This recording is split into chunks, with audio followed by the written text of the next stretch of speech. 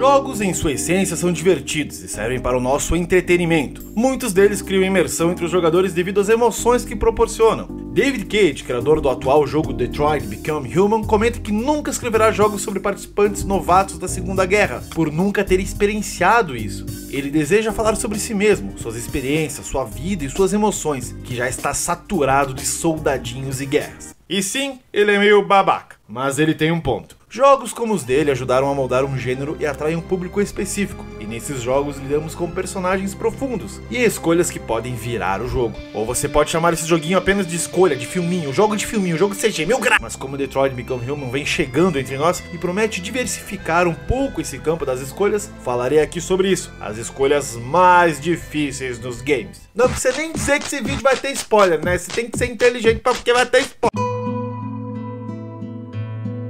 jogo independente Last Day of June, que pouca gente deu atenção e você deveria jogar, você deveria jogar, teremos apenas uma escolha que será definitiva. O jogo conta a história de Carl e June, um casal que recém começou a sua vida de casado resolve morar em uma pequena vila. Tudo ia bem, até que June sofre um acidente mortal. O jogo então terá como tarefa fazer você, o jogador, tentar desfazer esse acidente, voltando ao passado de Carl através de quadros de personagens que vivem nesta vila e de alguma forma conviveram pouco com esse acidente. Todas elas são pequenas escolhas e detalhes para que Carl vença o passado e salve June. Efeito borboleta, sabe? Toda a mudança que fizemos durante as duas horas de jogo parece não resolver o problema, e June sempre acaba morta. Aí então chegamos no fim do jogo e você descobre que só há um jeito de mudar o passado. E agora sim é hora de chorar. A escolha de Carl pode ser em deixar o acidente acontecer ou escolher morrer em seu lugar, deixando June viva apenas com a memória de seu marido, que irá morrer. Ele morreu no lugar dela para deixar ela viva porque é isso aí, mano. O amor é o amor é isso. E logo após os créditos desse lindo indie terminarem, você vê o filho dos dois no mesmo lugar em que Carl conheceu June e começavam o jogo.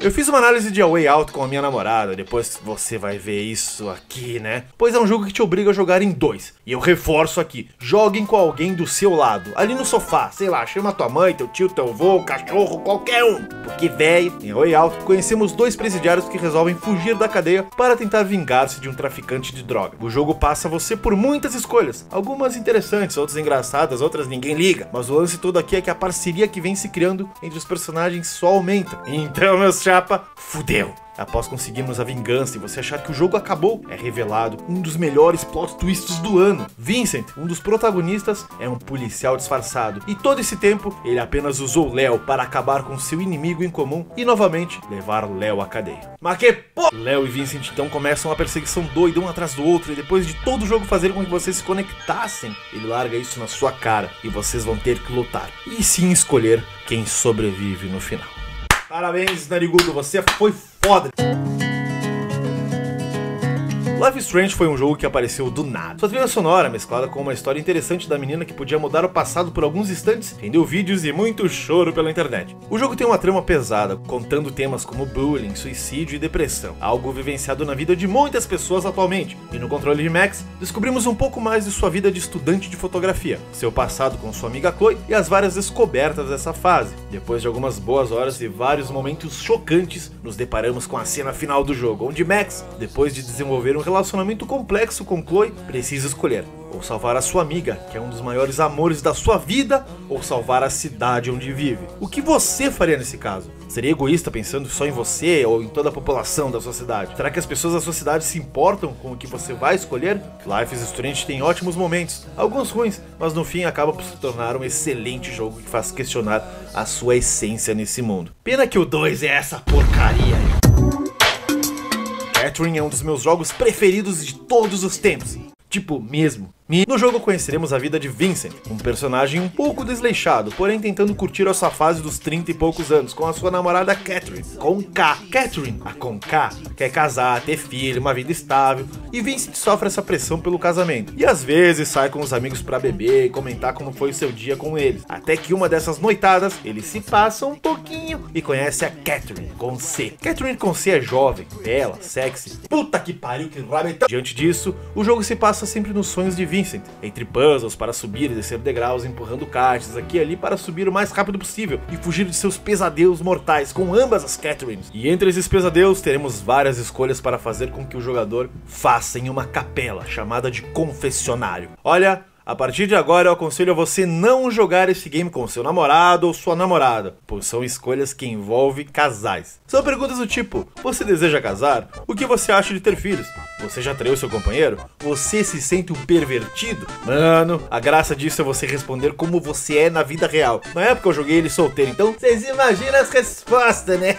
Todas as escolhas levam a seis finais diferentes. Lembrando que se você casou, você cagou, meu amigo.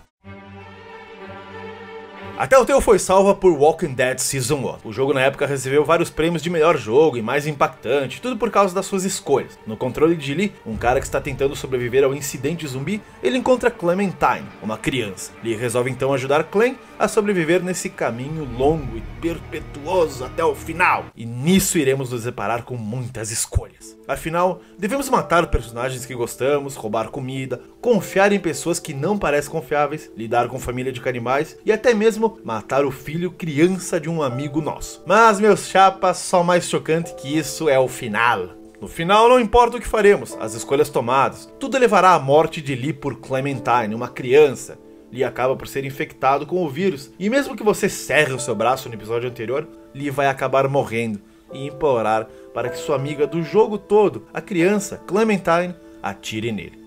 Chame de escolhas, chama de filminho, jogo de CGzinha, chame como quiser. Eu chamo de jogos da hora que me fazem pensar muito, porque videogame não é só tirinho ou fantasias finais, mas sim um pouco de bom senso.